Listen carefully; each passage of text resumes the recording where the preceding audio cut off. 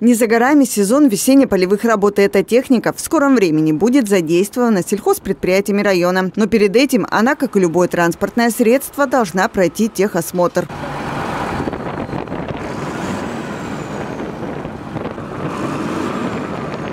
Специалисты гостехнадзора проверяют газоанализатором количество вредных выбросов в выхлопных газах. И это лишь один из пунктов в плане проверки технического состояния и наличия необходимых документов. По состоянию на 15 марта технический осмотр проведен в двух предприятиях КФХ и АПК Краснокамского района.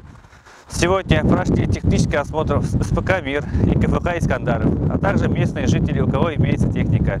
Из представленных 12 единиц соответствует требованиям безопасной эксплуатации.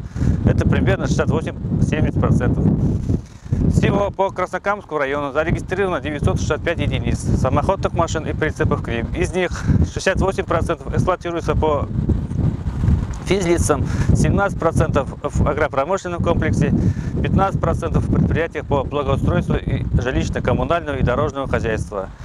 Сегодня в ходе проведения технического осмотра с механизаторами и ИТР хозяйства были проведены профилактические беседы и консультации доведены правила требований безопасной эксплуатации самоходных машин.